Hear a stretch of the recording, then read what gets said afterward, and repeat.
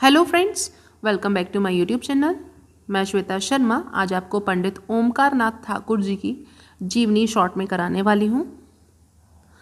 तो आइए स्टार्ट करते हैं।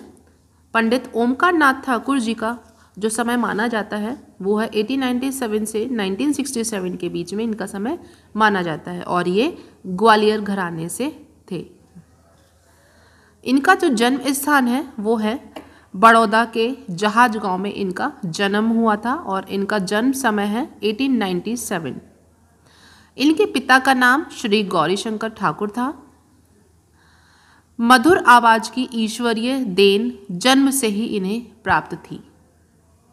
बाल्यकाल में शिक्षकगण इनके काव्य गायन से प्रसन्न हो जाते थे। जब ये चौदह वर्ष के थे, तभी पिताजी का इनके स्वर्गवास हो गया था। ओमकारनाथ ठाकुर विशेष रूप से तो ख्याल के गायक थे।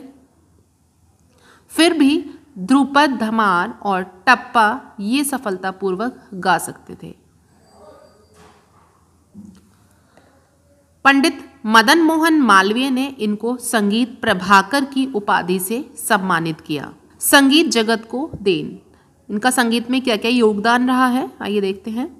पंडित ओमकार नाथ ठाकुर बनारस हिंदू विश्वविद्यालय के संगीत विभाग के कुलगुरु रहे। इन्होंने पुस्तकें लिखी कौन कौन सी पुस्तकें लिखी देखते हैं। हिंदी में लिखी इन्होंने प्रणव भारती व संगीतांजलि और गुजराती में राग अने रस। ये हिंदी और गुजराती में ये बुक्स लिखी हैं इन्होंने।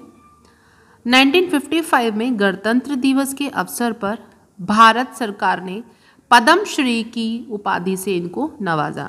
इनकी मृत्यु हुई 28 दिसंबर 1967 में। तो इस प्रकार हमने शॉर्ट में किया पंडित ओमकार नाथ ठाकुर जी का जीवन परिचय। अगर आपको मेरी वीडियो पसंद आती है तो इसको लाइक कीजिए, शेयर कीजिए और सब्सक्राइब कीजिए। धन्यवाद।